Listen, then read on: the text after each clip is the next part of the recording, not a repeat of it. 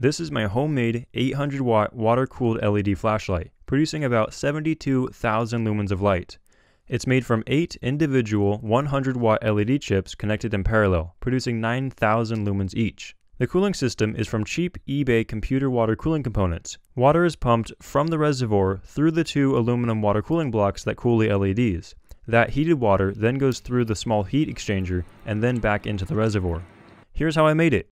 I applied some thermal paste to the bottom of all the LEDs and spread it into a thin film. I then secured them in place with a dab of superglue. Each parallel LED has a large 1 ohm resistor in series. I bent the resistor around the backside of the water blocks and just connected them all with this breadboard and some solder. The next step was to make a frame of some sort. I got some aluminum bar from the Home Depot, bent it into two loops, and then separated them with a piece of plywood. I fastened as many things as I could by tapping threads into the aluminum and securing pieces with countersunk machine screws. However, I'm pretty sure I can't do that to the water cooling blocks without causing some sort of a leak. So then I glued the LED array onto the frame with some epoxy. And now it's time to figure out the plumbing.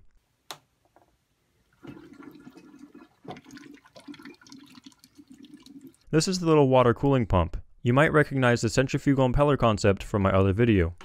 I did some surgery on this plastic bottle and sealed the pump inside it. In order to get the lenses mounted so close together, I used some epoxy to bond the lenses onto the reflective housings, and then I used a disc sander to grind away at the edges and more epoxy to glue the lenses onto the LEDs. The light is powered off of three 3-cell lithium polymer battery packs connected in series to produce about 36 volts.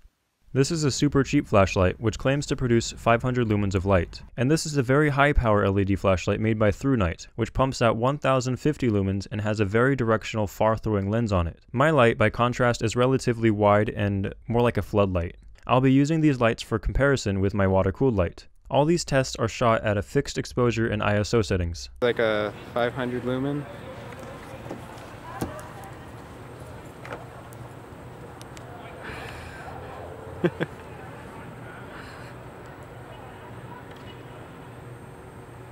Five hundred lumens and then a lot of lumens widespread.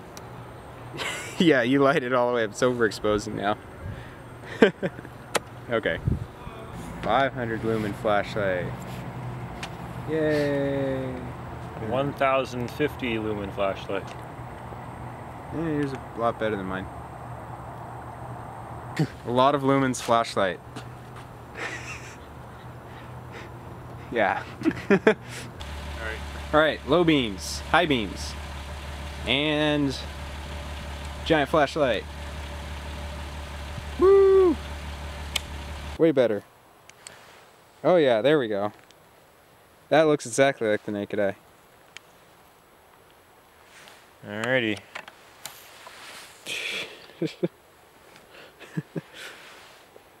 All the light.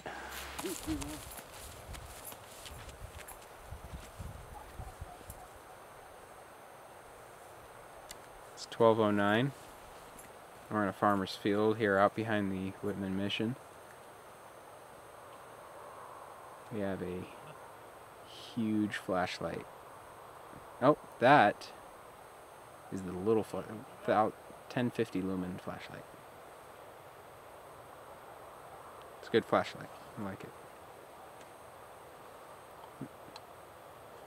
But you know, you can always have one that's more powerful than a car headlight. You done?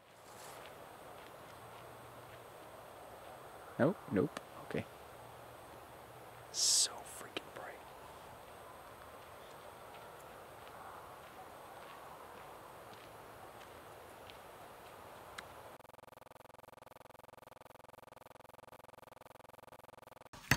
I had a couple of these little water cooling blocks that I used for testing earlier, and just for the fun of it, I added three more 100 watt LEDs on top, bringing this thing from 72,000 up to a nice even 100,000 lumens. Here is a fuzzy picture of Palouse Falls taken from 400 feet above the water. I'll probably put this thing back to how it was though. Thanks for watching.